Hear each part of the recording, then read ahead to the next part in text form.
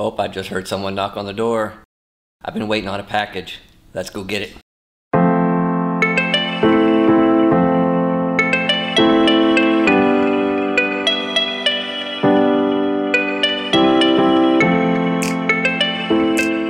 That's a heavy box. Well, as I matured in my photography and videography endeavors, I actually got tired of using a lightweight tripod and I uh, upgraded my camera system and got the Canon EOS R, which is what I'm filming on right now. And I'm a little bit scared to use the thing because every time I put my Sigma or any kind of heavier lens on the front of it, it starts to dip or can out of nowhere fall. Or if I'm doing nighttime photography and I'm aiming up at the sky, it won't stay put. So it was time to get a new tripod. And also, as I have figured out, that it is nice to be able to use a monopod and not have to carry around a heavy tripod when you're doing wedding engagement photo shoots so on and so forth because you can just pick it up and move around the room and you can also multi-purpose as a somewhat of a gimbal so I had to buy both of those and I think they were very necessary and I had to buy a, a, better fluid head or at least the tripod that I'm about to open up for you has one. So I'm gonna shut up now and I'm gonna open this box and see what's inside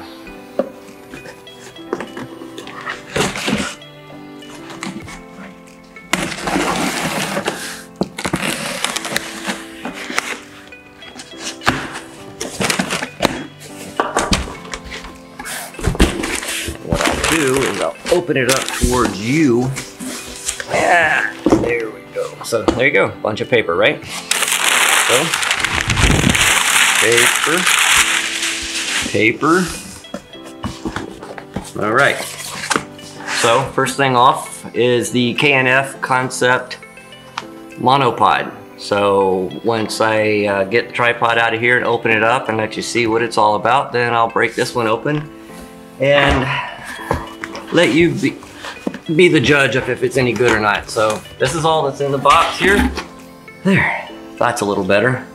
So what we have here is the Regtech, Regetek heavy duty tripod and it's foldable, foldable, simple operation. Don't they all say that? Personalized series and maximum stability. Well, that's kind of what I was hoping for. And this is the RG60A01. I gambled on it, I read the reviews, and for the price, it was like $125.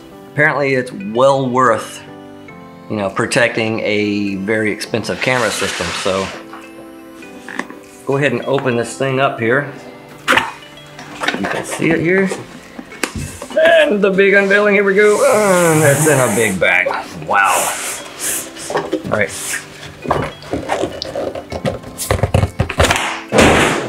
That was loud. And wow, that's a pretty high quality nylon bag here. Very thick, it feels padded as well. Okay. Oh, it's got hooks on it so you can shoulder strap. So I'm assuming that there's a shoulder strap in it. And here we go. We're gonna unzip it and more stuff to unwrap. Okay. So, this is kind of cool where the fluid head fits in here. Kind of wraps around there to hold it to protect it.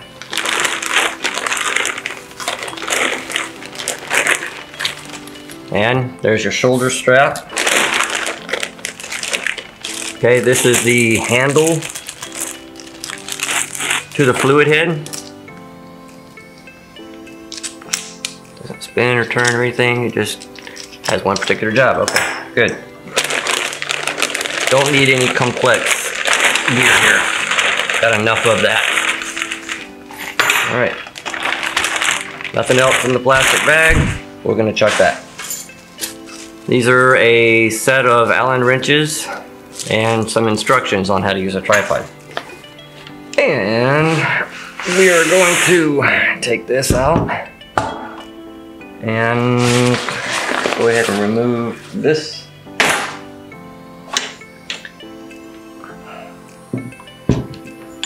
And I'll tell you right now, this is actually really good quality so far.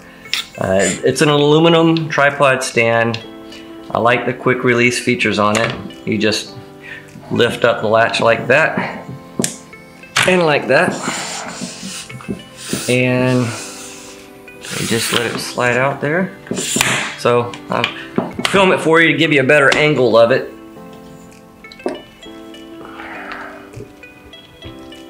And it's got the very, very sturdy feet on the end of it. And apparently you lift up on this ring right here and you can take these off. That's really cool. Holy crap, I love that. Now, for those of you who have who have had these before, that's probably nothing new to you, but that's really cool to me. So that makes it really simple. I hope they last a long time. And also, there's little hooks here, or little pegs that you could probably stick on, you know, a wooden deck or something like that, or, you know, some stability or places to put it where it won't slide. So, very, very nice. So far, so good. Pretty happy with this. And the fluid head, we'll give that one a real test here shortly. But yeah, nice. Let's move on to the monopod. Very nice. This is the K&F concept, the KF MP2624. And it's got a foam handle on it. Looks pretty sturdy. Yep, quarter inch 20 pitch thread on the end. Standard camera adapter. Then you've got your release latches here and 67 inch so very good. Because not only will I be using this for putting my camera on here and I'm gonna apply a lot of pressure on it and I am actually putting probably about 40 to 50 pounds on it and it isn't giving way whatsoever. Um, as far as flexibility I don't feel a whole lot of bend to it so that's good because I'd like to be able to put my camera, I want to be able to put like a gimbal on the end of this and raise it up to places to be able to get shots that you typically wouldn't get anywhere else. And I have a GoPro with a Smooth Q that I could use on the end of it. I don't know if I'm going to be using my big gimbal on this, but it seems like it will hold it pretty well. So maybe if I put my Canon M50 on there, I don't think I'm gonna be raising my my EOS R on this thing above the house tops because that just doesn't seem safe. So, well, Thursday unboxing. Let's see what they can do. The quick release latches on this tripod were so easy to use and all you have to do is lift them out, lifts straight up, and the legs automatically expand. The fluid head, I figured there would be some catches as I went from left to right like my last fluid head, but there were absolutely none. And you can easily change out fluid heads on this thing. If you're left-handed, you can use the handle and adjust it to the other side, which is also a major plus. You can lock and loosen the adjustability for front to back, left to right, and I know, clean the screen. But you know what, it's a touchscreen, so I left it there on purpose. It's practical. The fluidity of this thing is absolutely amazing, and at night, I don't have to worry about my camera falling off, and I get very good angles for nighttime photography. There is a, a level, a liquid level built into it as well, so when you're adjusting the underarm and you can tighten it back up once you get it level, and you're good to go. So also again with adjustability. As far as the height goes, you could grab a chair and get some family photos from up high, but wow, I'm short and this sucks. So thanks for watching. I hope you got something out of this. Uh, I'm really proud of the new tripod and the new monopod. I'm going to be using them quite a bit to reach out to you and give you some better material to watch And I'm not going to be doing any iPhone 11 reviews anywhere in the near future because within that first hour that they came out, there were like 20 of them, and I'm not one of those that jump on board. And not to mention the fact I don't have one, and I'm not jealous at all. So thanks again for watching. If you haven't already subscribed, please subscribe. Hit that like button, hit that notification bell, and thanks for sticking with me because I'm having a blast and I'm trying to push more product out there as much as I possibly can. Not to make money off it because I'm not monetized yet. So what's there to lose? Hit the subscribe button. Hang out with me for a while. Watch me grow because I'm doing the best I can. Have a great week and I'll see you guys in the next video.